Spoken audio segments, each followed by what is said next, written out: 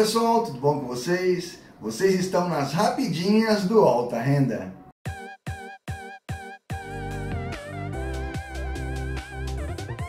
A PP Itaú Card apresenta novas funções com vantagens ao consumidor. Bloqueio do cartão físico e parcelamento da fatura direto pelo celular trazem praticidade para o dia a dia do usuário. O Itaú Unibanco desenvolveu novas funcionalidades com o objetivo de oferecer eficiência e comodidade para os 4,7 milhões de usuários mensais no app Itaú Card.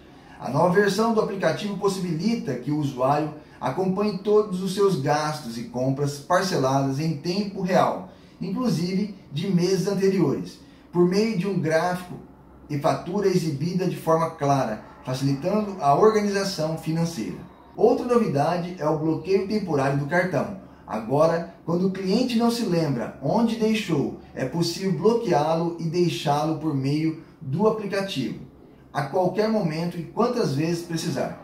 Caso o titular não tenha certeza se realmente perdeu e seu cartão ou apenas não se lembra onde colocou, pode reativá-lo sem precisar pedir a emissão de um novo.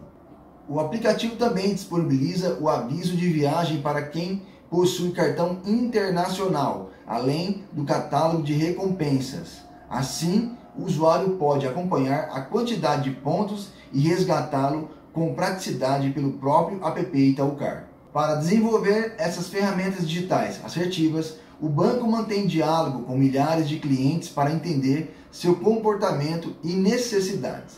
Também analisa mais de 600 feedbacks por mês nas lojas de aplicativos. As novas funcionalidades já estão disponíveis para Android e iOS. Gente, com estas novidades no aplicativo do Itaú Card, o sistema começa a ficar melhor para os usuários. Então, quem tem cartão Itaú Card e, e utiliza com frequência o aplicativo, vai receber então essa novidade aí na nova versão do Itaú Card. Você vai poder bloquear, fazer é, o, o, aviso de viagem para quem faz viagem internacional, né? Tem seu cartão internacional, Gold, Platinum, Black, Infinity, né? E vai ter aí essas novas funcionalidades no app.